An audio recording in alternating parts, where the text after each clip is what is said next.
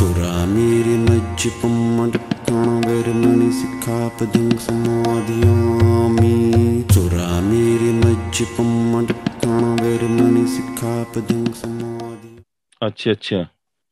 तो पहले सुधीर राज जी को ले लेते हैं कटके साहब को बाद में लेंगे फिर दस बजे करीब साढ़े नौ करीब। सुधीर राज सिंह सर आइए सर। कटके सर से पूछ लेते एक बार। अच्छा कटके, कटके सर। हाँ सर जी। सर, हाँ। आप आ जाइए सर पहले। मैं बताऊँ? जी सर। सुधीर राज सिंह सर को होने दो ना। अच्छा नहीं आप बताइए मैं बोल दूँगा बाद में। अच्छा अच्छा मैं ज़्यादा वक्त नहीं लूँगा फिर दस मिनट नहीं में आप आप अपना पूरा वक्त लीजिए और आपके तुरंत बाद में आ जाऊँगा। ठीक है सर ठीक ठीक ठीक। Thank you sir thank you स्वागत है। स्वागत है सर आपका। सर सभी सम्मानित साथियों को नमो बुद्धाय जय भीम जय संविधान। अ, आज का जो दिन है, वो दिन हमारे जागृति का दिन है। बुद्ध ने उसको सम्मा सती कहा है। सम्मा सती यानी सम्यक जागृति। और इसको तथागत बुद्ध ने अपने सती सतीपटान सूत्र में अच्छी तरह से समझाया है। जिस किसी साथी ने विपස්සना का टेन डे का तीन कोर्स किया है एक सर्विस की है और बाद में सतीपट्टान सूत्र का शिविर किया है वो भली भांति जानता है कि सतीपट्टान सूत्र क्या होता है। उसमें तथागत बुद्ध ने सत, सम्मा सती के बारे में कहा है कि आतापी संपजानो सतीमा। इसका मतलब है कि आपको हर हर वक्त आतापी यानी तप करना यानी मेहनत करनी है संपजानो। पजानो यानी प्रज्ञा से। तो प्रज्ञा से और सती सतीमा यानी जागरूक रहकर आपको हर दिन अपना जो प्रयत्न है जागरूक प्रज्ञा से हमको जागरूक रहकर किसी चीज़ का हमारे ऊपर आक्रमण ना हो, किसी चीज़ से हम बाधित ना हो, हमारा मन किसी चीज़ से दूषित ना हो, इसके लिए आतापी संपजानो सतीमा ऐसा बुद्ध कहते हैं सतीपट्टान सूत्र में। यही बात ज्योतिराव फूले हम सब जानते हैं कि बाबा साहब ने तीन लोगों को अपना गुरु माना था। बाबा साहब के पहले गुरु तथागत सम्यक संबुद्ध थे, दूसरे गुरु कबीर थे और तीसरे गुरु बाबा साहब के ज्योतिराव फूले थे। तो ज्योतिराव फूले जी ने गुलामगिरी नाम का एक ग्रंथ लिखा है, द स्लैवरी। ज्योतिबा फूले अपने स्लैवरी ग्रंथ में लिखते हैं गुलामगिरी में कि हम लोग जो बहुजन है, जो शूद्र है खासकर शूद्र लोग हैं, जो कि इस देश का करीब करीब 85 परसेंट हिस्सा है। तो हम लोग गुलाम क्यों बने हैं? तो ज्योतिबा फूले कहते हैं कि हम लोग गुलाम इसलिए बने हैं क्योंकि हम जागरूक नहीं है। और जागरूक बनने के लिए हमें क्या करना होगा? तो ज्योतिबा फूले ने बताया कि शिक्षा है एकमात्र माध्यम है कि जिसके ज़रिए हम लोग हमारी चेतना को जागृत कर सकते हैं हमारी बुद्धि का विकास कर सकते हैं जिसके बल पर हम हमारे ऊपर होने वाले अन्याय के प्रति जागरूक हो, होते हैं। भगवान बुद्ध ने जो भव चक्र बताया है अविद्या पच्चया संखारा संखार पच्चया विज्ञान विज्ञान पच्चया नाम रूप नाम रूप पच्चया षड़ायतन षड़ायतन पच्चया फस्स फस्स पच्चया वेदना वेदना पच्चया तना तना पच्चया उपादान उपादान पच्चया भव भव पच्चया जाति जाति जरा मरणं एवं केवलस्य दुख खंडस्य संभवाति। बुद्ध कहते हैं कि हम लोग तृष्णा में क्यों फंसे रहते हैं? क्योंकि हम लोग अज्ञान में जड़े जड़े रहते हैं। हमारी जो मन की जो जड़ है, वो है अज्ञान। तो उसको बाहर निकालने के लिए फिर ये भव चक्र का बारह कड़ियों का दुख कैसे पैदा होता है? वो सिद्धांत बताया और फिर अगली बारह कड़िया दुख से मुक्त कैसे होना है? ये तथागत बुद्ध ने कहा। बुद्ध कहते हैं कि इससे मुक्त होने के लिए आपको चौबीसों घंटा जागरूक रहना पड़ेगा। तो यही बात बाबा साहब ने भी 1936 में अपने दो व्याख्यान है बाबा साहब की, जो कि बहुत ही क्रांतिकारी व्याख्यान है। हम सब जानते हैं कि 13 अक्टूबर 1935 को येवला नासिक में बाबा साहब ने एक बहुत बड़ी घोषणा की थी। क्योंकि बाबा साहब 1920 से लेकर तो 1935 तक जो सामाजिक सुधार का आंदोलन चला रहे थे, हमारी चेतनाओं को जागरूक करने का आंदोलन चला रहे थे और दूसरी ओर बाबा साहब एक काम करते थे कि उसी जो पुराने हिंदू समाज में है, उसमें दुरुस्ती की जाए, उसमें सुधार किया जाए और देखा देखा जाए कि क्या ये समाज दुरुस्त होता है। लेकिन 1920 से लेकर तो 1935 तक बाबा साहब के समझ में आया कि ये समाज दुरुस्त नहीं हो सकता क्योंकि इसकी जड़ है, बहुत गंदी है। तो बाबा साहब के ध्यान में आ गया। बाबा साहब ने एक फिर वाक्य कहा है। बाबा साहब कहते हैं कि मैंने हिंदू समाज को जागरूक करने की और हिंदू समाज को सुधार लाने की बहुत कोशिश की, लेकिन मैंने पाया कि हिंदू समाज को दुरुस्त करना, सुधारना यानी मैंने अपना सर हिमालय को, हिमालय के पत्थर के ऊपर पटकना है। तो मेरा जो सर है, खून से लथपथ हो जाएगा, लेकिन ये समाज दुरुस्त नहीं होगा। तो फिर बाबा साहब ने जाकर एक घोषणा की कि मेरा कसूर नहीं है कि मैं उस धर्म में पैदा हुआ हूँ, लेकिन मैं, मेरे हाथ में है कि मैं उस धर्म में मरूँगा नहीं। ये जो प्रतिज्ञा बाबा साहब ने 1935 में की, और उसके बाद बाबा साहब ने लोगों को जोड़ने का काम किया। उन्होंने अलग अलग जातियों के सम्मेलन लगाए, खासकर ज़्यादातर महाराष्ट्र में लगाते थे। कुछ सम्मेलन बाबा साहब साउथ इंडिया में लगाते थे और कुछ नॉर्थ में लगाते थे। पंजाब है, पश्चिम बंगाल है, यूपी है, इधर बाबा साहब की काफ़ी सभाएँ हुआ करती थी।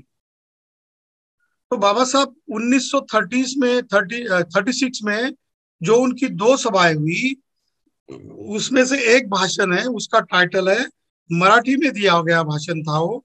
उसका टाइटल है जागृति सा अग्नि तेवर ठेवा। इसका मतलब है जागृति का अग्नि जो है, उसको बरकरार रखो। जब तक आप जागरूक नहीं हो जाओगे, आपके ऊपर अन्याय वैसा ही होता ही रहेगा। दूसरा बाबा साहब का एक बहुत ही फ़ेमस व्याख्यान है। उस वक्त के जनता पेपर में बहुत बार आ चुका है। वो है, मुक्ति कौन पते? इसका मतलब है कि किस मार्ग से हमारी मुक्ति होने वाली है? तो ये दोनों व्याख्यान बाबा साहब ने 1936 में दिए थे। और तीसरा किताब के बारे में हम लोग बार बार ज़िक्र करते हैं एनिलेशन ऑफ़ कास्ट का, जो लाहौर में अधिवेशन होने जा रहा था, जो कि हुआ नहीं, जो भाषण देना था वो दिया नहीं गया। तो वो है एनिलेशन ऑफ़ कास्ट का। तो ये जो दूसरा जो व्याख्यान है, मुक्ति कौन पते का उसको बाबा साहब ने फिर अंग्रेज़ी में ट्रांसलेट करके इमेंसिपेशन व्हाट वे हम स्पीचेस के अगर अंग्रेज़ी के ग्रंथ अगर पढ़ लेते हैं तो उसमें एक काफ़ी अच्छी तरीके से बाबा साहब ने दिया हुआ भाषण हमें पढ़ने में आएगा। हमारी मुक्ति कौन से मार्ग से है, उस उस व्याख्यान में बाबा साहब ने तथागत बुद्ध ने जो आनंद को महापरिनिब्बान सूत्र का जो पाठ दिया था उसका ज़िक्र बाबा साहब 1936 में करते हैं। तो इकट्ठा लेकर अगर हम देखते हैं तो तीनों महापुरुष जो है बाबा साहब के गुरु और खुद बाबा साहब, ये चारों हमारे महापुरुषों ने हमें एक बहुत बड़ी शिक्षा दी कि आपको जागरूक रहना है। और ओशो ने भी तथागत बुद्ध के बारे में कहा है। ओशो कहते हैं कि तथागत बुद्ध को अगर एक वाक्य में समझना पड़ा, समझना है तो होश में आ जाओ। बुद्ध एक ही मैसेज देते हैं कि आपको होश में आना है। जो भी इंसान होश में आता है, उसके ऊपर अन्याय, अत्याचार कोई भी चीज़ नहीं होती है, क्योंकि वो जागरूक होता है। तो इसके ऊपर मैं एक उदाहरण देना चाहता हूँ।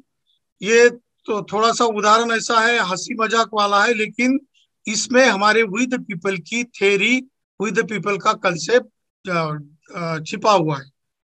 तो चार दोस्त होते हैं और चार दोस्त हॉस्टल में पढ़ते हैं, छात्रावास में।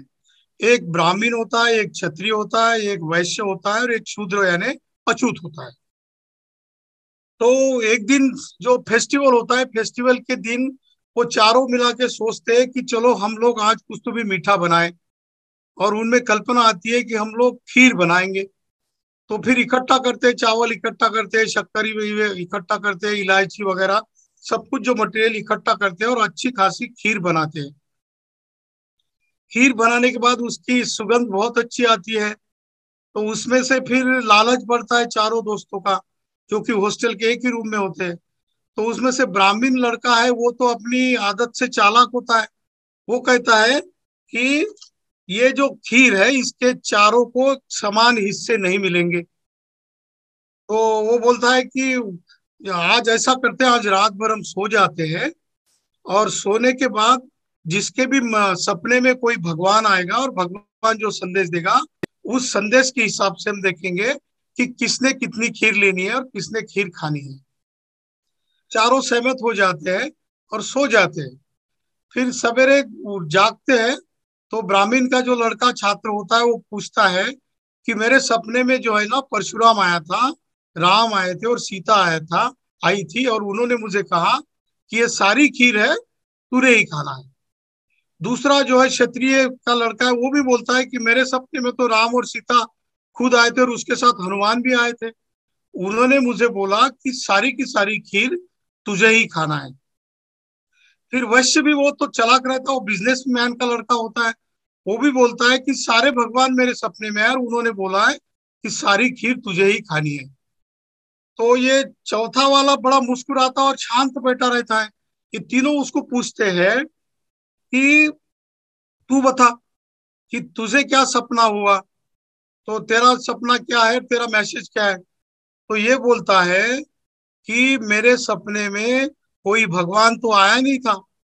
ना कोई भगवान आया, ना कोई आया, लेकिन मेरे सपने में तथागत बुद्ध आए थे, छत्रपति शिवाजी महाराज आए थे, ज्योतिबा फूले आए थे और रात को दो बजे डॉक्टर बाबा साहब अंबेडकर मेरे सपने में आए थे और उन्होंने बोला कि बेटा, तुम्हारी सारी पीढ़िया, तेरी सारी पीढ़िया सोई रही। तुम लोग काम करते रहे, दूसरों के लिए खीर बनाते रहे, काम करते रहे। क्या तेरे को ये जो सोए हुए तेरे दोस्त है, खीर देंगे? इसका समान हिस्सा देंगे? तो वो बाबा साहब बोलते हैं, उसको सपने में, वो कहता है कि मुझे बाबा साहब ने बोला कि तुझे खीर तो नहीं देंगे? लेकिन सवेरे खीर के बर्तन साफ़ करने का काम देंगे। तो इसीलिए वो बोलता है, इसीलिए बाबा साहब ने मुझे बोला कि अभी तू खीर खा ले और दो बजे रात को मैंने पूरी खीर खा डाली है, इसलिए मैंने मेरा काम कर दिया है। तो ये इस इस कहानी का मतलब ये है कि हम लोगों को तथागत बुद्ध ने, बोधिसत्व बाबा साहब अंबेडकर ने सत्तर साल पहले खीर दी थी। लेकिन हम लोग जो है सत्तर साल से सोए हुए हैं। कैसे सोए हम जानते नहीं है कि एक इंसान ने हमारे लिए इतनी बड़ी मेहनत की, इतना बड़ा संविधान दिया, संविधान में इतने सारे प्रोविज़न दिए, लेकिन पिछले सत्तर साल से हम सोए हुए हैं और सोने के बाद जागते भी है तो एक दूसरे के साथ झगड़ते रहते हैं। हमने हमको जगाने के लिए उनतीस लाख संगठन बनाए। साढ़े चार लाख संगठन बनाकर एक दूसरे को हम जगाने का काम तो करते हैं, लेकिन खुद हम सोए हुए से नज़र आते हैं। इसका मतलब है, अगर हम विद पीपल में जुड़े रहेंगे तो हम लोग क्या करेंगे? जो साढ़े चार लाख संगठन खुद तो दूसरों को जगाने का काम कर रहे हैं, पर खुद सोए हुए, जो रिज़ल्ट ओरिएंटेड काम है जगाने का, वो नहीं कर रहे वही जो बचा हुआ काम है, हमको वी द पीपल में करना है, क्योंकि वी द पीपल का कंसेप्ट कैसा है कि दूसरा जो सोता है, उसको जग, जगाने का काम करता है, उसको सिर्फ़ जगाता ही नहीं, उसको मदद करता है कि क्या उसने करना चाहिए। वो खुद का मत दूसरे के ऊपर लादता नहीं है तो खुद का विचार उस, दूसरे के ऊपर लादता नहीं है, दूसरों को बड़ा बनने के लिए मदद करता है और ऐसे वैसे वो ये भी काम करता है कि अपना जो साथी है, उसके, उसको मदद करते हुए, उसको जागरूक करने का हर दिन वो काम करता है। ना अपनी लीडरशिप लगाता है, ना कभी उससे पैसा माँगता है, ना उसको कभी अहंकार में लिप्त रहकर उसको गाली गलोच करता है। हालाँकि वो दूसरों को मदद करता है। वो मदद कैसी करता है? तो मैं वी द पीपल से जुड़ा हूँ। चार पाँच दिन हो गए, दस दिन हो गए। मुझे वी द पीपल का कंसेप्ट समझ में आ रहा है। आ गया। यही जो कंसेप्ट है, मैं क्यों ना मेरे साथी को समझाऊ? तो कोशिश करता है। वो जागरूक होता है। वो कोशिश करता है कि मेरे सगे साथी है रिलेटिव्स है, मेरे अच्छे दोस्त है, पहचान वाले हैं। इसको मैं कब ये कंसेप्ट समझा कर बताऊँ और कब उसको मैं विद पीपल के मीटिंग में ले आऊँ? ताकि मेरी तरह वो भी जागरूक बने और एक दूसरे के साथ जुड़े और देखते देखते बाबा साहब ने जो संविधान का जो हमको खीर दिया है, इस खीर का टेस्ट वो भी ले, उसका बेनिफिट वो भी उठाए, ऐसी भावना वो वी द पीपल में आके रखता है। यही चीज़ है, इस उदाहरण से हमको यही देना, देखना है कि क्या मैं जागरूक हो चुका हूँ? बुद्ध ने जो सम्मा सती कहा है, अगर मुझे समझ में आई है और मैं आज दिन ब दिन, हर दिन जागरूक जागरूक होते जा रहा हूँ तो मैं मेरे जागृति का मंत्र दूसरों को बताऊ। अगर मैं ये जागृति का मंत्र अगर खुद के लिए रखू तो वो तो ऐसा ही होगा कि जैसे बुद्ध बुद्ध बने थे और बुद्ध के मन में विचार आया था कि मैं तो बुद्ध हो गया। और इतना कठिन मार्ग है, मैं कैसे लोगों को बताऊँ? तो ब्रह्मा सहमपति आता है और बुद्ध को विनंती करता है और बुद्ध के मन में सोच आती है कि नहीं नहीं ये जो मैं जागरूक हो, हो चुका हूँ मैं बुद्ध हुआ हूँ क्योंकि मैं दुख से मुक्त हुआ हूँ ये मेरा सारा जो ज्ञान है मेरा बुद्धत्व है मैं और लोगों के दुखी लोगों के बीच में मैं बांटता रहूँ। तो बुद्ध का जो एटीट्यूड है यही एटीट्यूड कबीर का एटीट्यूड होता है। यही एटीट्यूड ज्योतिबा फुले का होता है। इसीलिए ये लोग अपने जीवन को हमारे लोगों के लिए हम सामान्य लोगों के लिए अपना जीवन सारा नौछावर कर देते हैं और अपनी ज़िंदगी दाव पर लगाकर दूसरों का भला करने की सोच हमको सिखाते हैं, यही तथागत बुद्ध की धम्म की शिक्षा है। जागरूक हो जाना है। तो मैं समझता हूँ, आठ मई से जो इन कुछ साथियों ने जो ये जागृति का मंत्र हमारे बीच में छेड़ा है, हम आज धीरे धीरे जागरूक होते जा रहे हैं। तो क्यों ना हम ऐसा करें कि जो चीज़ मुझे मिली है, जिस वजह से मैं जागरूक हो रहा हूँ, जिस वजह से मैं परिपक्व होता जा रहा हूँ मेरे एक दूसरे के प्रति के जो मन मिटाव के भाव है, वो धीरे धीरे धीरे कम कम होते जा रहे हैं। और मैं एक अच्छा इंसान बनने जा रहा हूँ कि जो कि मेरे बीच में मैत्री, करुणा, मुदिता, उपेक्षा, ये भाव आ रहा है। मैं दूसरों को मदद देना, करना चाहता हूँ। मैं दूसरों को मैत्री मैत्री बांटना चाहता हूँ। मैं दूसरों को अच्छा देखना चाहता हूँ। ये अगर चीज़ मैं दिन दिन और बार बार अगर करता रहूँ तो आने वाले समय में विद पीपल का ये जो कंसेप्ट है हम सारे भारतवर्ष में फैलाने में कामयाब होंगे। तो पहले हम शुरू कर देते हैं कि मेरे नज़दीक के जो भी दोस्त है, जो भी लोग हैं, जो भी आज नए लोग जुड़े हैं, इनको मैं बताऊँ कि ये आओ यही पश्चिम को ओपन आई को पचहत्तंग वेदी तो वो आओ, देखो, इसको जांचो, परखो, और अच्छा लगे तो इसको अपनाओ, और जो भी आपने अपनाया है, वो दूसरों के बीच में बांटते जाओ। यही अगर संदेश अगर हम गंभीरता से लेते हैं तो दूसरी, तीसरी बात ना तो बुद्ध ने कही है, ना ज्योतिबा फुले ने कही, ना कबीर ने कही है, ना खुद बाबा साहब ने कही है। संविधान का भी निचोड़ यही है कि हम लोग इसी बात को अपनाते जाएँगे। और मैं यही आपको रिक्वेस्ट करता हूँ कि विद पीपल के कंसेप्ट को और संगठनों संगठनों की तरह ना समझे। ये तुमको, तुम्हारे बीच में लीडरशिप पैदा नहीं करेगा। ये तुमसे पैसा नहीं मांगेगा। ये ना कोई माला या कोई माइक का या कोई ऐसा अहंकार का या फिर दूसरों को अपना मत, अपना विचार लादने का ऐसा कोई भी सोच, कोई भी विचार विद पीपल में नहीं रहेगा। यही सोच आपको बरकरार रखनी है विद पीपल का संदेश, विद पीपल का कंसेप्ट आपके मन मस्तिष्क पर गहराई से समझना है, सोचना है, रखना है। इसीलिए हमें करना क्या? तो हमें पहला काम करना है कि मुझे ये कंसेप्ट समझने के बाद मैं ये सोचता हूँ कि मुझे इस विद पीपल से जुड़ना है। तो मैं तय दिल से जुड़ने की कोशिश करता हूँ। जुड़ते वक्त हो सकता है कि मेरे बीच में कुछ कमियाँ हैं। हो सकता है कि मुझे बहुत सारी आदत, बात करने की आदत हो। मैं सिर्फ़ अपना ही मत दूसरे के ऊपर लादने की आदत हो। मैं मेरे अहंकार में दूसरों को कैसे कम लेखता हूँ, ये भी बात हो। लेकिन जैसे जैसे धीरे धीरे मैं विद पीपल को समझता हूँ तो मेरे नज़र में आता है कि मेरे बीच की जो बुराइयाँ है धीरे धीरे दिन ब दिन कम होती जा रही है। और यही चीज़ मैं दूसरे मेरे दोस्तों के साथ बांटता जाऊँगा, बांटती जाऊँगी, ताकि मैं यही अच्छी कल्पना जो कि मेरे गुरुओं से आई है, मैं औरों को भी सिखाता रहूँ। और इसीलिए मैं दूसरों को जोड़ने की कोशिश करूँ। दूसरा, जोड़ने में अगर आनाकानी करता है तो कोई बात नहीं है। मैं किसी सीनियर साथी को बता दूँ कि ये मेरा दोस्त है। मैं इसको 10-15 दिन से कंसेप्ट समझने की, समझाने की कोशिश कर रहा हूँ। मैं लिंक भेज रहा हूँ। लिंक भेजने के बावजूद भी वो बता रहा है कि मेरे पास वक्त नहीं है। वो कह रहा है कि ना ना, मैं तो नहीं आ सकता।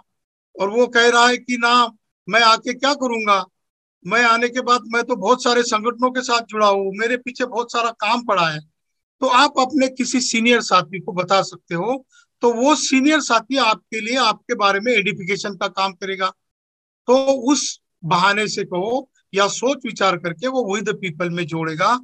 यही एक बात है कि हमको खुद को जुड़ना है और साथी को बुलाना है, उसको जोड़ना है और देखते देखते ये विद पीपल का जो हमारा परिवार है, ये परिवार का जो प्यार है, वो हमारे बीच में बांटकर इसको दुगुना, तिगुना और लाख गुना ज़्यादा बढ़ाना है। इतना ही संदेश मैं आज के कंसेप्ट के दिन देना चाहता हूँ। नमो बुद्धाय जय भीम जय बुद्ध जय संविधान धन्यवाद। बहुत बहुत बहुत बहुत सर सुधीर राज सिंह जी? जी सर जी सर। आइए सर। जी सर।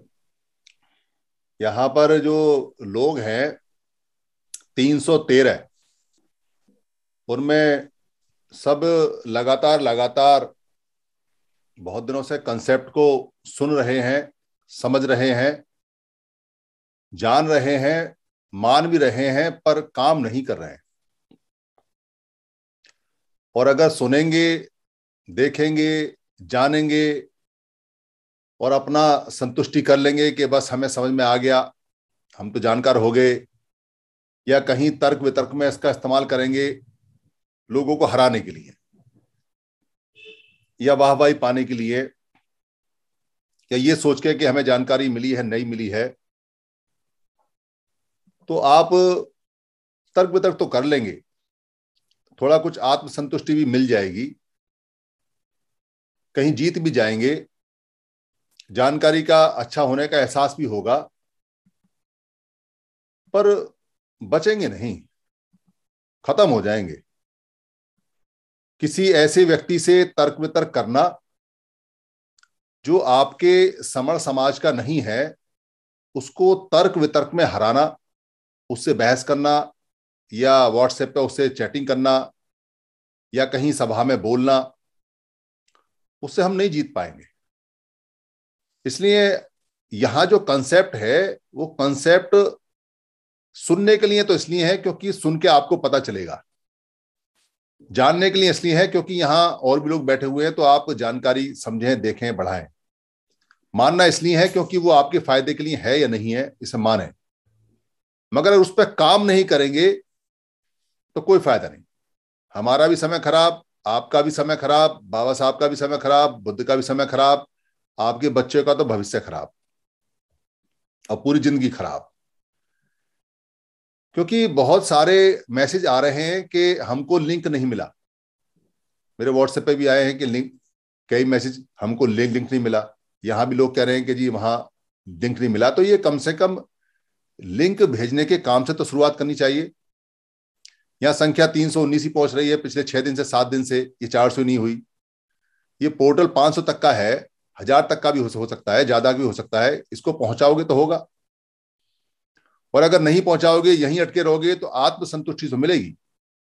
उस आत्मसंतुष्टि वाले को अत संतुष्टि बोलते हैं पाली के अंदर अत संतुष्टि सेल्फ एक तरह से आ, कह सकते हैं हैप्पीनेस। तो वो आपको मिलेगी मगर उससे फ़ायदा कुछ नहीं होगा। क्योंकि दुनिया में बहुत सारे लोगों को बोधि प्राप्त हुई है ज्ञान प्राप्त हुआ है बहुत सारे बुद्ध हैं दुनिया में। और उन ऐसे बुद्धों को जिनको जानकारी प्राप्त हो गई, सेम जानकारी जो सिद्धार्थ गौतम को हुई थी, सेम जानकारी। पर उन्हें दुनिया नहीं जानती और कोई भला नहीं किया उन्होंने, सिर्फ़ उन्होंने अपना भला किया। उनको बोलते हैं पच्चेक बुद्ध। पच्चेक बुद्धों की लाइन लगी पड़ी है। और जो ये वाला बुद्ध है जिसको आप बार बार यहाँ गाते हैं, बजाते हैं और देखते हैं, इसको बोलते हैं सम्यक सम बुद्ध।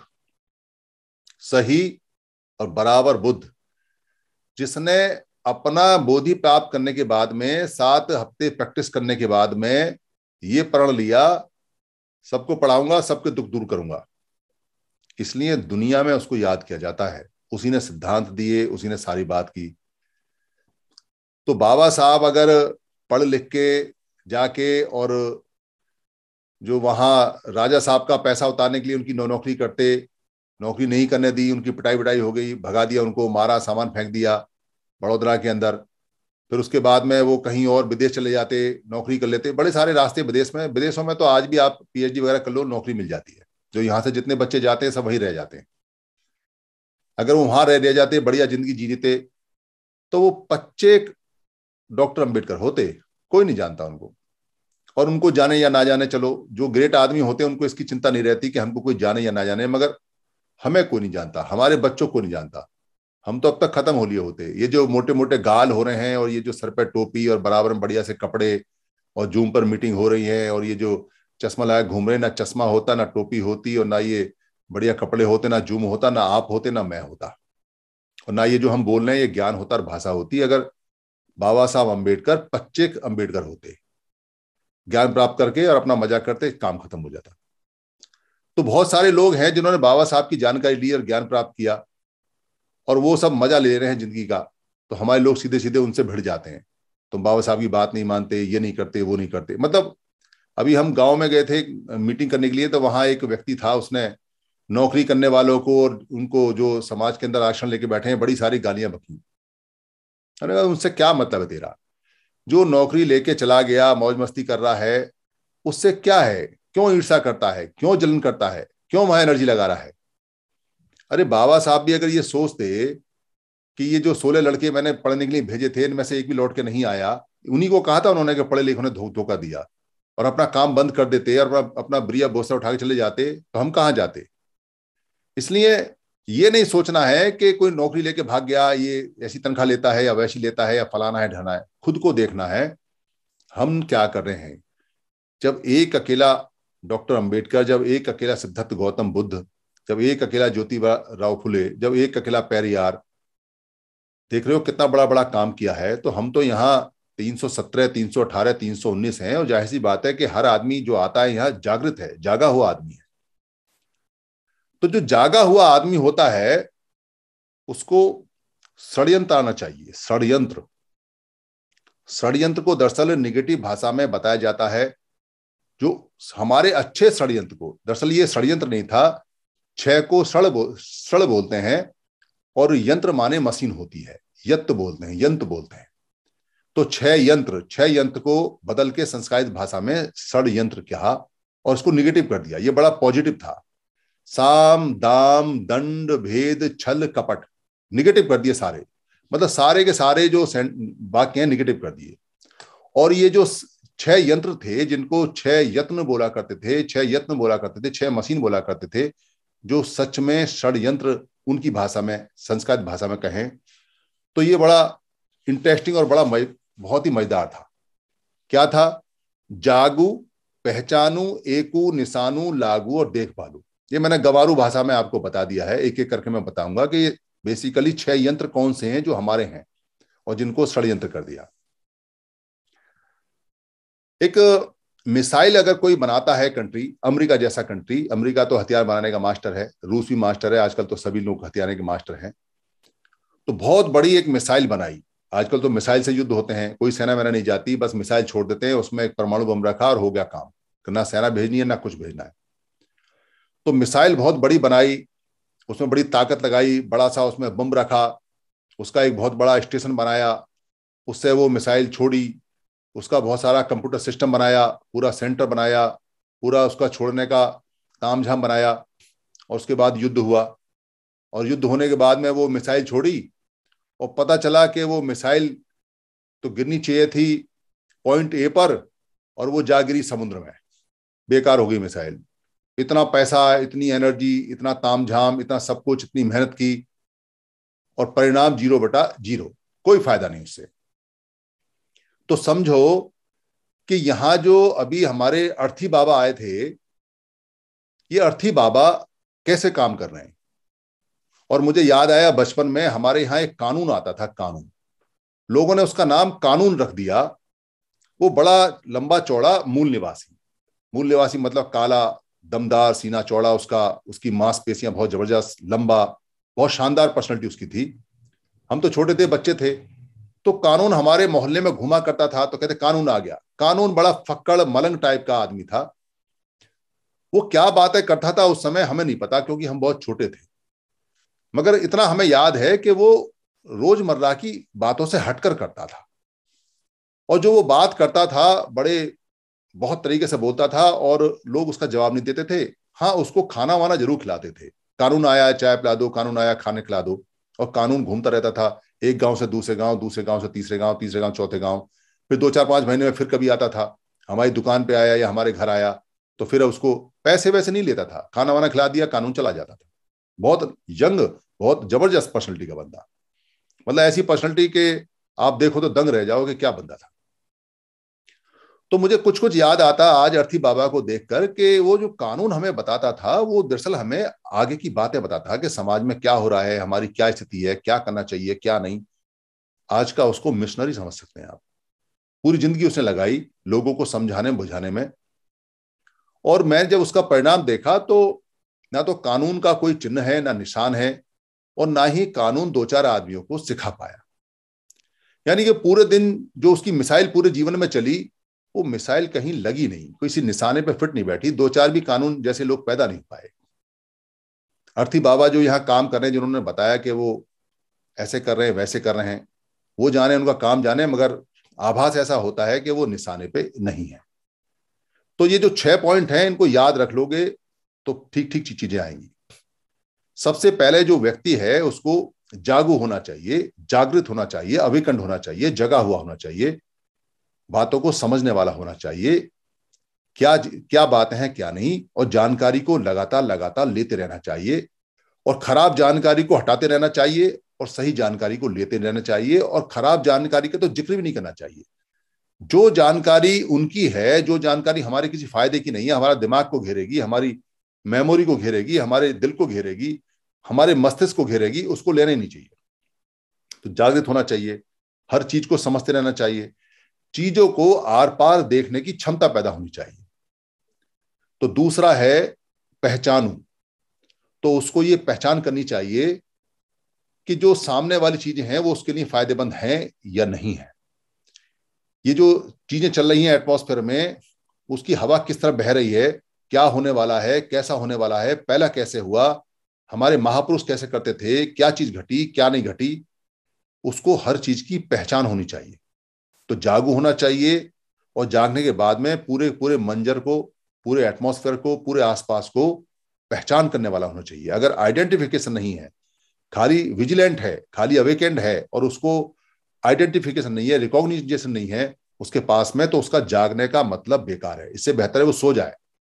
क्योंकि कोई जगह भी और पहचान नहीं पाया तो नुकसान ही करेगा, कोई फ़ायदा नहीं करेगा। और अगर जाग, जागृत है विजिलेंट भी है और पहचानू है रिकॉग्निशन भी करता है आइडेंटिफिकेशन भी करता है चीज़ों की तो फिर एकू होना चाहिए। क्योंकि एक कहावत पुरानी चलती है जागू से लागू बुरा होता है। ये हमारे यहाँ चलती है नॉर्थ में मुझे नहीं पता साउथ में क्या चलती है। क्या मतलब है इसका?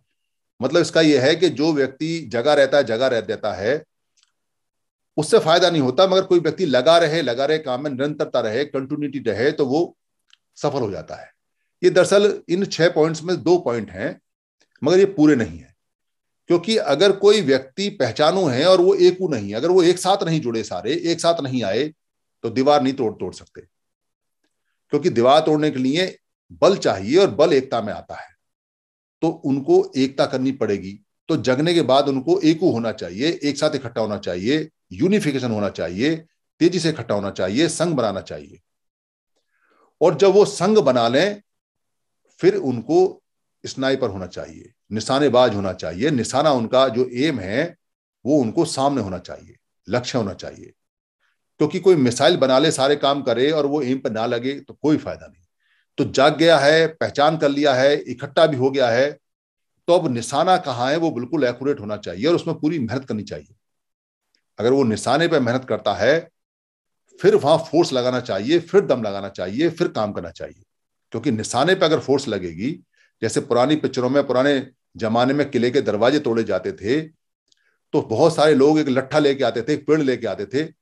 उस पेड़ पे सारे लोग उसको पकड़ लेते थे, क्योंकि उसमें झाड़ियाँ होती, डंडी होती थी तो चारों तरफ़ से पकड़ लेते थे या रस्सियों से बाँध लेते थे। और दूर से एक साथ आते थे और उस पेड़ से एक साथ टक्कर मारते थे। तीन चार टक्कर में कितना ही मोटा दरवाज़ा हो, वो टूट जाता था। अगर उनको जागे हुए नहीं होते, उनको पहचान नहीं होती कि ये कैसे टूटेगा और वो एक साथ पेड़ को उठाने वाले नहीं होते और निशाना उनका सही दरवाजे पर ना लगे और दरवाजे के बजाय अगर उनका दीवार में लग जाए तो दीवार कहाँ टूटेगी? दरवाज़ा टूट सकता है, वरना लट्ठा टूट टूट जाएगा। तो वो सारे एक साथ लगे और लगने के बाद जब चीज़ को प्राप्त कर लें, फिर सबसे मेन काम स्टार्ट होता है देखभालू, यानी कि उसकी मेंटेनेंस। जो आपने प्राप्त कर लिया है, अगर उसकी देखभाल नहीं की उसकी सुरक्षा नहीं की और आपने ये सोच लिया, अरे ये तो हमें को मिल गया, बात खत्म हो गई तो कोई और ले जाएगा उठा के। या पड़ा पड़ा खराब हो जाएगा, या आपको जो आप लापरवाही करोगे, उसका दंड आपको भुगतना पड़ेगा। ये दरअसल छह यंत्र हैं, इनको षड यंत्र बोलते थे, उन लोगों ने इसको निगेटिव कर दिया, हमारे ये पॉजिटिव है। अब महापुरुषों को देखो कि कैसे काम किया है। उन्होंने इन छह पॉइंट पर काम किया है या नहीं किया है? जो बुद्ध हैं, बुद्ध से आरंभ करेंगे तो बुद्ध ने सबसे पहले अपने आप को जागृत किया। उन्होंने किसी किसी और ने जागृत नहीं किया उनको। वो खुद सबसे पहले जागे। फिर उन्होंने पहचाना कि बुराई क्या है। उन्होंने देखा कि मुसीबत क्या है। उन्होंने ये देखा कि कैसे हम परेशान हैं और कैसे हमें दुख आता है। तो दुख होने का कारण उन्होंने देखा कि भाई, लोग सारे शराब में हैं। लोगों की बुद्धि खराब हो चुकी है। इनके जो मन, माइंड है, उनको इम्प्योर किया जा जा चुका है। ये झूठ बोलते हैं। ये नशा करते हैं। ये हत्या करते हैं। ये व्यवचार करते हैं, ये सारे वो काम करते हैं जिनसे इनका पतन होता है, इसलिए ये गुलाम है। तो वो इसको पहचाने। तो पहचानने के बाद में अकेले क्या करते? तो उन्होंने एकू, यानी एकीकरण किया, संघ बनाया। एक व्यक्ति कितनों को सिखा सकता है? एक अकेला बुद्ध अगर चाहे तो कितनों को सिखा सकता है? मतलब तेरह हफ़्ते की वो क्लास ले देते थे, उनचास दिन की, पचास दिन की, रेस्ट भी करना होता था। पचास दिन में कितनों को सिखा दोगे? फिर दूसरी क्लास लगेगी, फिर आपने पचास, सौ लोगों को सिखा दिया, वो पिछले सौ भूल जाएँगे, फिर आपने तेरह हफ़्ते में सौ को सिखा दिया। एक अकेला व्यक्ति अगर सिखाए बुद्ध जैसा भी तो तेरह हफ़्ते में, दो महीने में सौ लोगों को सिखा देगा, इससे ज़्यादा नहीं। बहुत सौ भी ज़्यादा है उस जमाने के हिसाब से, क्योंकि बोलना पड़ेगा, ना कोई माइक है, ना कोई किताब है, ना कोई प्रोजेक्टर है, ना कोई जूम है, ना कोई मीटिंग है, ना कोई कंप्यूटर है, मुँह से ही बोलना पड़ रहा है, सिखाना पड़ रहा है, सारा काम है तो कितने व्यक्तियों को सिखा सकता है, कितना बोल सकता है आदमी? एक वकीला व्यक्ति ज़्यादा नहीं बोल सकता। ये बात वो जानते थे, इसलिए उन्होंने एक ही, एकीकरण किया यूनिफिकेशन किया और संघ बनाना शुरू किया। तो संघ में मल्टीप्लीकेशन हो जाता है। यहाँ तीन सौ इक्कीस लोग हैं, अगर ये तीन सौ इक्कीस लोग मल्टीप्लाई करेंगे तो तो जीतेंगे। और ये सुन सुन के, और बच्चे बुद्ध की तरह, और चले जाएँगे, या सुन के कह दिया, बहुत बढ़िया कंसर्ट वाह वाह वाह वाह, साधु साधु साधु, लाजवाब, गजब का, बहुत बढ़िया बोले। इससे मुझे तो फ़र्क नहीं पड़ने वाला, क्योंकि मैं जानता हूँ कि मैं क्या बोल रहा हूँ, क्या नहीं बोल रहा है। आप मेरे को ये कहो, साधु साधु, उससे कहाँ साधु साधु होता है? साधु साधु तो जब होता है, जब आप यहाँ से प्रण लेके जाओ कि ये कंसेप्ट हम लगातार बताएँगे, लोगों को जोड़ेंगे कंसेप्ट बताएँगे, लोगों को जोड़ेंगे, सिखाएँगे, जुड़ना है, जोड़ना है, जुड़ना है, जोड़ना है, एकू करना है एकरण करना है संघ बनाना है। तब बात बनेगी। यहाँ एक व्यक्ति बोलता रहे, मैं बहुत अच्छा बोल सकता हूँ, मेरी तो डेली प्रैक्टिस होती है, कटके साहब की प्रैक्टिस होती है, यहाँ जितने लोग बोलते हैं उनकी बहुत बढ़िया प्रैक्टिस होती है। हमें तो सोते सोते बुलाओगे, हम तो शुरू कर देंगे, क्योंकि हमने तो काम ही ये पकड़ा है, हम तो जीवन पर्यंत यही यही काम करेंगे। तो पाँच साल बाद सुनोगे तो और अच्छा बोलेंगे, छह साल बाद बोलोगे तो और अच्छा सुनेंगे, मगर हमारे अच्छे बोलने से होता क्या है? अगर एक आदमी, दो आदमी, पाँच आदमी अच्छा बोले उससे कुछ नहीं होता। हाँ आप बोलो आप चाहे टूटा बोलो चाहे फटा बोलो चाहे खराब बोलो चाहे बेकार बोलो चाहे तथ्य वाला बोलो, बिना तथ्य का बोलो, मगर आप बोलो, जुड़ना है, जोड़ना है जोड़ना है जोड़ना है। तीन लाइन बोलो, दो मिनट बोलो, चार मिनट बोलो, पाँच मिनट बोलो, टूटा बोलो, फटा बोलो, गलत बोलो, तब बात बनेगी। तब काम होगा, तब साधु साधु होगा, वरना साधु साधु नहीं होता। तो ये जो बुद्ध है जब उन्होंने देखा कि अब संघ बन गया है तो निशाना लगाना शुरू किया। निशाना चल रहा है साथ। बुराइयाँ उन्होंने पहचान कर ली हैं कि ये हमें गुलाम बना रही हैं। तो नियम बनाने शुरू किए एक एक करके एक एक करके, एक साथ ही बनाए। कोई ऐसा नहीं है कि दिव्य नियम आ गए हों दुनिया में। दिव्य नियम कहीं से नहीं आते। व्यक्ति सीखता है, नियम बनाता है, व्यक्ति सीखता है, नियम बनाता है, व्यक्ति सीख और जो चालाक और जो मूर्ख लोग होते हैं, वो पहले नियम बनाते हैं, पहले प्लान बनाते हैं। दुनिया में जितने गधे हैं, जितने चालाक लोग हैं, जितने निकम्मे लोग हैं, जितने नकारा लोग हैं, पहले वो प्लान बनाएँगे। पहले वो क्या करेंगे? एक समिति बनाएँगे, एक संस्था बनाएँगे, उसके चेयरमैन चुन लेंगे, अपने आप को बना लेंगे चेयरमैन अपना भाई को जनरल सेक्रेटरी बना लेंगे, साले को कैसे बना लेंगे, फलाने को कुछ बना लेंगे, सबकी उसमें गोटी फिट कर लेंगे। और काम ज़ीरो बटा सन्नाटा, काम कुछ नहीं। बुद्ध ने काम ऐसा नहीं किया। और कोई भी अच्छा काम करता है, दुनिया में ध्यान रखना, कोई भी अच्छा काम करता है, वो कभी प्लान नहीं बनाता। वो काम करता है प्लान अपने आप बन जाता है, ये नेचर का नियम है। वही बुद्ध ने किया। तो वो देखे तो निशाना लगाया तो बुराइयों को एक एक करके फोड़ना शुरू किया। बुराइयाँ फूटती चली गई, लोग संभलते चले गए, लोग सुखी होते चले गए, लोग सुखी होते चले गए। तो सारे लोग लग गए। उपासक हमारे जैसे भी लोग लग गए, जो साधारण थे और जो बुद्ध के टीचर थे, वो वो भी लग गए तो काम जल्दी बन गया। तो काम खत्म नहीं हुआ। सारे लोग सुखी हो गए तो काम खत्म कहाँ हुआ? तो देख भालू यानी कि उसके संरक्षण के, उसकी सिक्योरिटी के, उसकी सुरक्षा के नियम बनाए। वो नियम देखे गए।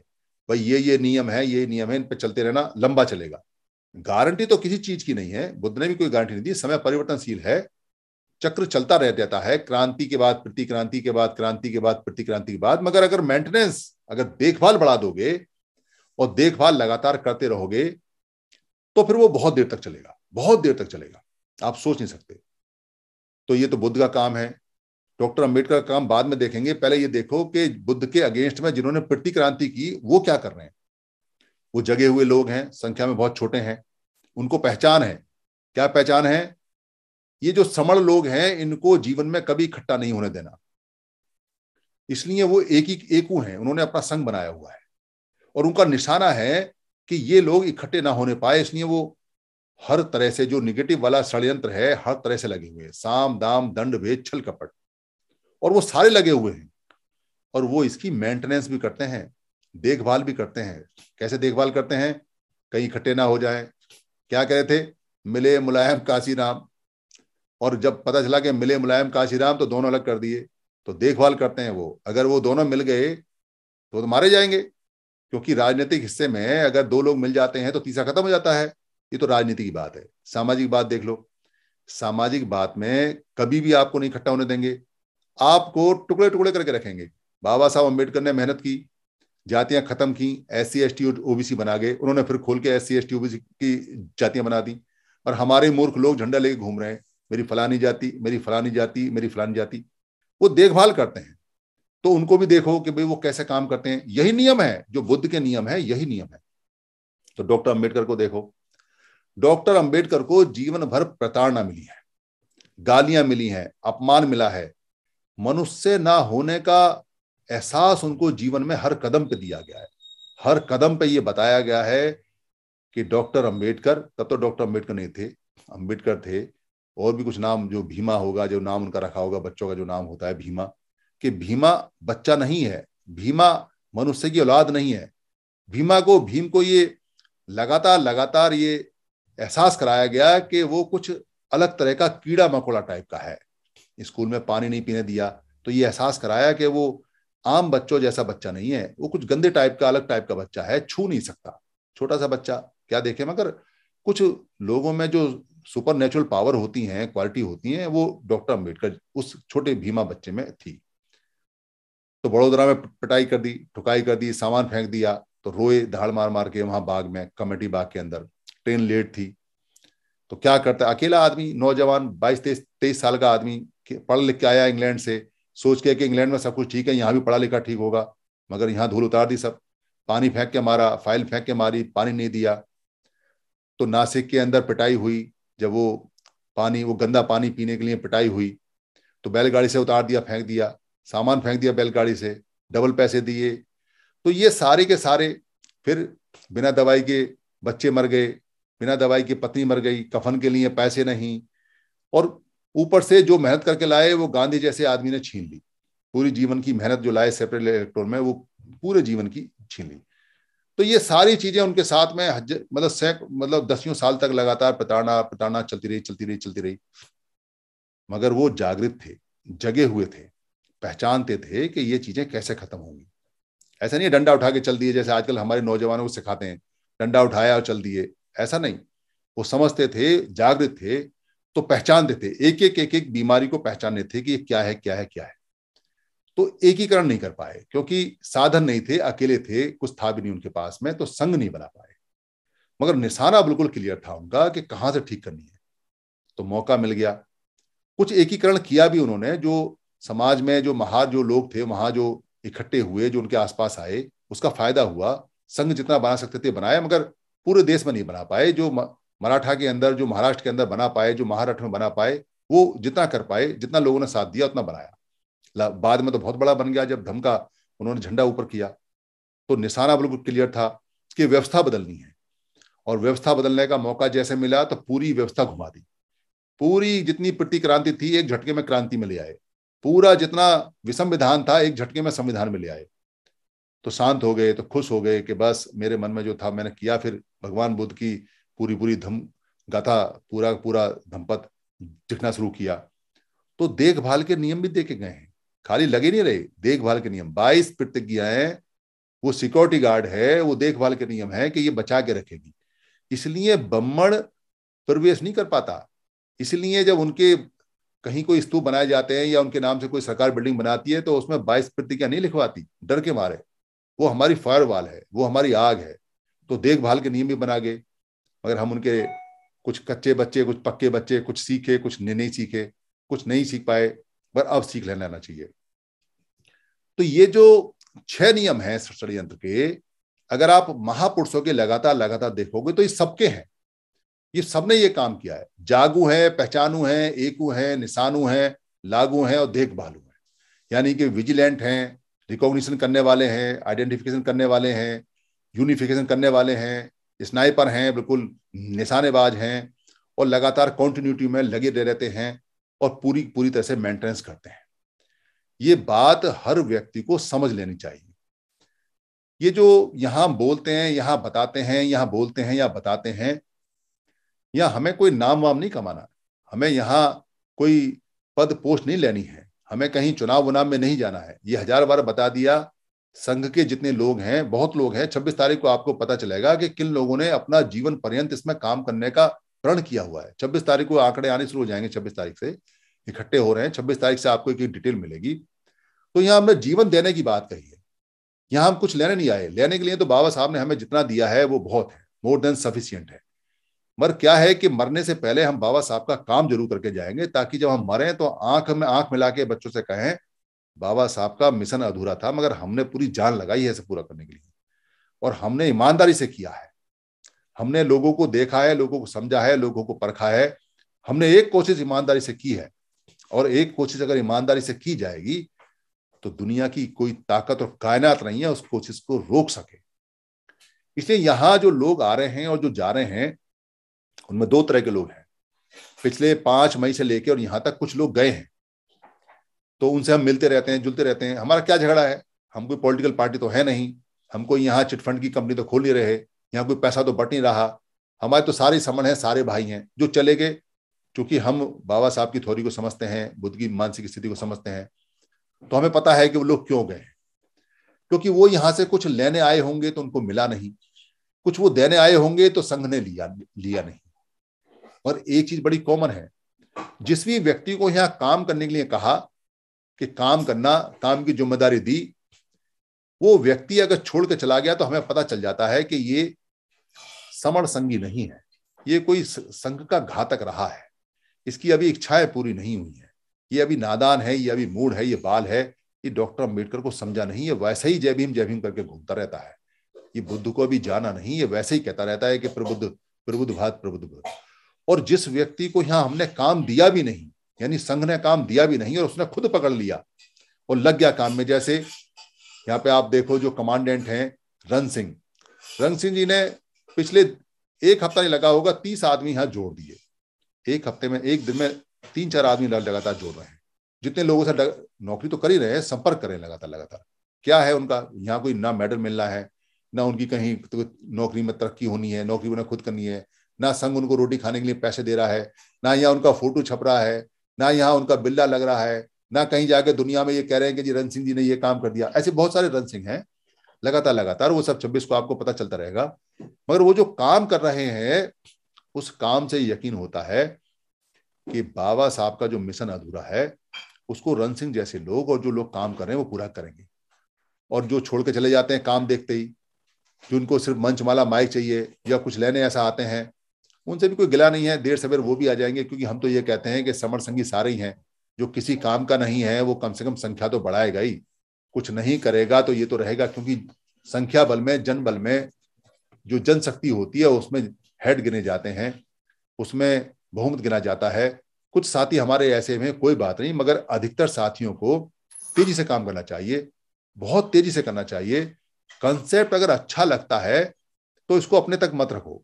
इसको पहुंचाओ, दूर दूर तक पहुंचाओ, दूर दूर तक पहुंचाओ, क्योंकि कुछ लोग मिलकर काम करेंगे जीवन भर, वो संतुष्ट होकर मर हो जाएँगे। मगर ना उद्देश्य आपका पूरा होगा और ना ही उद्देश्य हमारा पूरा होगा। हम दोनों का, हम सबका हम सारे श्रवणों का एक ही उद्देश्य है, हमको सुखी रहना है। हमारे बच्चों को अच्छे मौके मिलने चाहिए, अच्छी अपॉर्चुनिटी मिलनी चाहिए, और वो तब मिलेंगे जब संविधान के तहत में आप इकट्ठे हो जाओगे तब संविधान आपको आपका अधिकार देगा। ये संविधान की शर्त है। इस शर्त को मानना पड़ेगा। इसलिए हर संगठन को उनतीस लाख संगठन और चार लाख संगठन रोज रोज बताते हैं जो अलग अलग काम कर रहे हैं। हर संगठन को कहना पड़ेगा, भाई, इकट्ठे हो जाओ। संविधान तो तभी गिनेगा जब इकट्ठे हो जाओ। संविधान नहीं देखता कि उनतीस लाख संगठन है। संविधान तो ये देखता है कि वी पीपल कितने हैं। अगर संगठनों की गिनती से कहीं संविधान मानता होता अगर संविधानों की संगठनों की गिनती से कहीं अधिकार मिलते होते तो अब यकीन मानना सारी दुनिया के अधिकार हमें मिल जाते। उनतीस लाख संगठन है हमारे। हमारे जैसे बेवकूफ़ समाज के उनतीस लाख संगठन है। अगर संगठनों की गिनती के ऊपर कहीं कुछ मिलता होता तो सबसे ज़्यादा हमें मिलता। पूरी दुनिया में इतने संगठन नहीं होंगे जितने हमारे हैं। पूरी दुनिया में नहीं होंगे इतने संगठन जितने हमारे हैं। और इस पर जब रिसर्च की जाएगी कि संगठनों पर तो लोग कहेंगे बड़े मूर्ख लोग थे और बाबा साहब के अनुयायी थे। तो भाई बाबा साहब के अनुयायी हैं तो बाबा साहब ने कब कहा कि संगठन संगठन खेलना है, तेरा संगठन बड़ा, मेरा संगठन छोटा, ऐसा खेलना है। किसने कहा कि संगठन संगठन बना के कहीं आज़ादी मिलती है? किसने कहा कि संगठन संगठन बना के कोई अधिकार रुकता है? अगर ऐसा होता तो अब तक सारे काम हो गए होते तो ऐसा नहीं होता।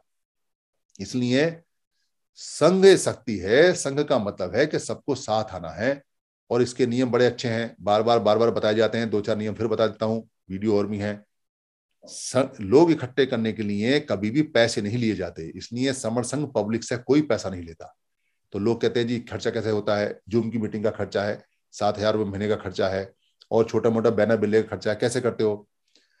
जो इसके एक्टिव मेंबर हैं, कोई सौ, दो सौ, पाँच रुपए खर्चा आता है तो वो सौ, दो सौ, दस, बीस रुपए मिलके वो अपने आप कर लेते हैं। वो किसी से नहीं कहते। वो किसी बाहर वाले को नहीं कहते, वो अपने आप कर लेते हैं। और वो भी ऐच्छिक है। वो भी कंपलसरी नहीं है। जिसको देना है, दे दे। जिसको नहीं देना है, ना दे। पैसे का यहाँ ज़िक्र नहीं होता, मगर इसलिए बताना पड़ता है, क्योंकि प्रश्न आया था कि भाई अगर पैसे नहीं लेते तो चलता कैसे? तो क्लियर होना चाहिए, क्योंकि बिना पैसे के तो जूम चलेगा नहीं। और अगर कोई व्यक्ति एक पैसा देगा तो फिर संघ कैसा रहा? तो इसका खर्चा संघ के एक्टिव मेंबर उठा लेते हैं। और इससे बड़े बड़े खर्चे भी उठाने को तैयार हैं। कितने बड़े खर्चे उठाने को तैयार हैं? क्योंकि यहाँ बैंक अकाउंट तो कोई है नहीं। बस यहाँ जब भी खर्चा आता है तो कहते हैं खर्चा आ गया, जिसने जो देना देके और हाथ के हाथ खर्चा दे देते हैं, काम खत्म हो गया, लेना देना सब बराबर हो गया, कोई इकट्ठा नहीं करते। तो यहाँ कभी ज़िंदगी में नेता नहीं बनेगा, क्योंकि यहाँ ना पद है, ना पोस्ट है। तो यहाँ कहीं कोई किसी भी हालत में ना मंच, ना माला, ना बीच की कुर्सी, ना साइड की कुर्सी, ना ऐसा बैठते हैं यहाँ पे कि सामने कोई और लोग बैठे हैं, इधर कोई और लोग बैठे सब घेरा बना के गोल, जैसे घर में पंचायत में बैठते हैं, वैसे बैठते हैं। तो यहाँ डिसीज़न कैसे लेते हैं? डिसीज़न लेने के लिए यहाँ कोई भी जो संबंधित काम करने के लिए, निर्णय ले लेने के लिए कोई भी निर्णय अगर है तो उसके लिए सब बैठते हैं। और वो समस्या रखी जाती है, उस पर सब बहुमत से फैसला करते हैं, जो निर्णय होता है उसको सारे के सारे मानते हैं। तो इसमें सबकी इज़्ज़त बराबर होती है। यहाँ सब एक दूसरे को सर कह के बोलते हैं और महिला हैं, जितनी भी हैं, उनको सब बहन जी कह के बोलते हैं तो सबकी बराबर इज़्ज़त है। तो ज़मीन पे बैठेंगे तो सारे बैठेंगे। और अगर कहीं कुर्सियाँ होंगी तो सारे कुर्सी बैठेंगे तो कोई किसी से ऊँचा नीचा नहीं बैठता। किसी कमर वमर में दर्द है तो भले ही उसके लिए कुर्सी आ जाए स्टूल आ जाए वो अलग बात है मगर नी, नी, नीचे बैठते हैं। तो जब सभा होती है तो सब अपना खाना लेके आते हैं और ज़्यादा लेके आते हैं ताकि कोई इधर उधर से आ जाए तो वो वो भी खा ले और सारा खाना इकट्ठा करके खाते हैं। तो इकट्ठा करके खाते हैं सारा खाना। तो आते जाते हैं तो अपने किराए से आते जाते हैं तो पैसे की ज़रूरत नहीं पड़ती। तो सिर्फ़ इकट्ठा होने जैसे पुराने समय में इकट्ठा होते थे वैसे इकट्ठा होते जा रहे हैं। तो यहाँ लगातार लगातार बहुत ज़्यादा मीटिंग होती है। लोग कहते हैं कि क्या यहाँ जो हेलो हाई करते हो, वही मीटिंग होती है या जो जूम पर मीटिंग ऐसा नहीं है। अभी तो कोविड आ गया, कोविड से पहले बड़ी सारी मीटिंग है, अब ज़मीन पर मीटिंग होने लगी है, गाँव तक मीटिंग पहुँच गई है और जैसे ये कोविड खुलेगा, वैसे बहुत तेज़ी से मीटिंग है। तो पूछते हैं लोग, मीटिंग लगवाता कौन है, लगाता कौन है?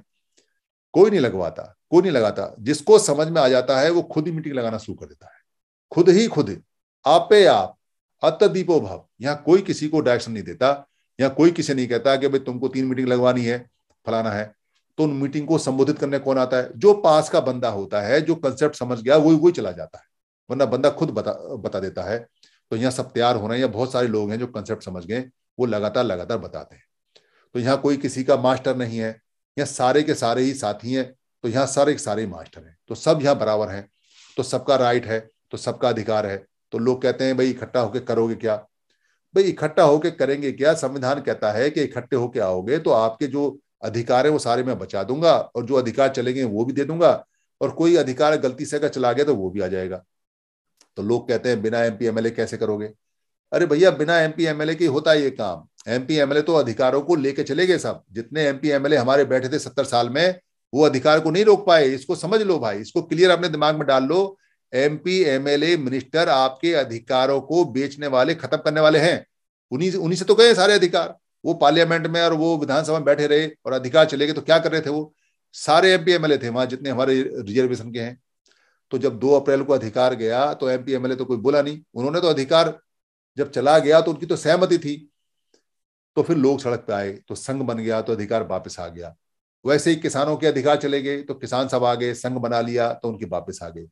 वैसे ही जब अंग्रेज़ों को भगाने की बात आई तो सारे सारे भारत के लोग इकट्ठे हो गए सड़कों पे आ गए अंग्रेज़ों भारत छोड़ो, अंग्रेज़ों भारत छोड़ो, अंग्रेज़ भारत छोड़ के चले गए, क्योंकि संघ बन गया।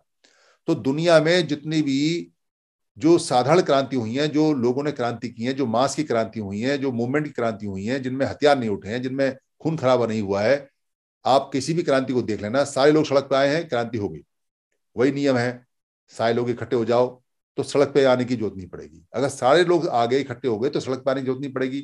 संविधान खुद आपके घर आके पूछ लेगा, बताओ क्या करना है? बताओ कैसे करना है? बताओ जो आपको चाहिए वो ले लो।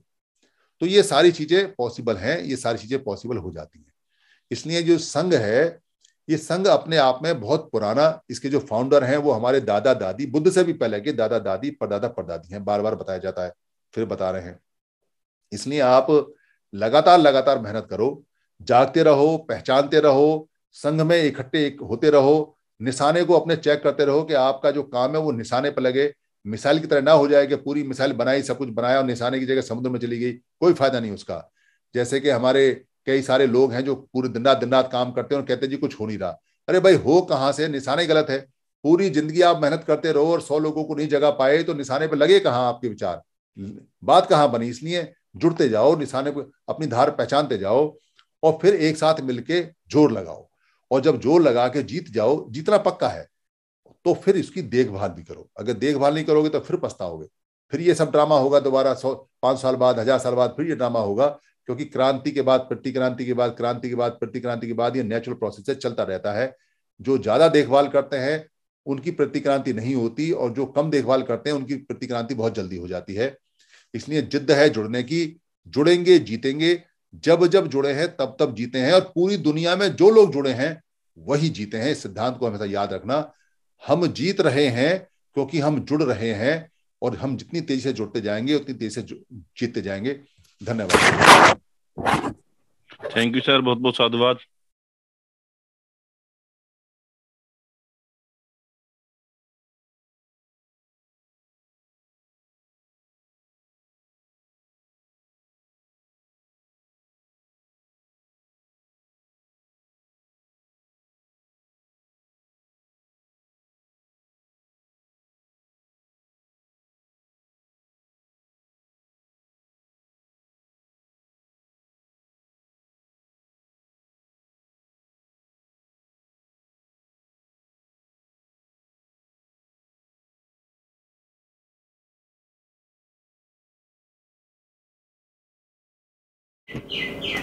आप सभी से ये निवेदन है कि अगर आपको ये वीडियो अच्छी लगती है या बाकी वीडियो अच्छी लगी हैं, और आपको लगता है कि धर्म की वीडियो किसी को और मिलनी चाहिए या किसी को गिफ्ट में भेजनी चाहिए या किसी भाषा में कन्वर्ट करके आगे बढ़ानी चाहिए या प्रिंट में, किताब में छापनी चाहिए या इसकी जो ऑडियो है उसे निकाल के भेजना चाहिए या इसका किसी पार्ट को इस्तेमाल करना चाहिए तो आपको लिबर्टी है, आपको छूट है। ये सभी कॉपीराइट फ्री हैं।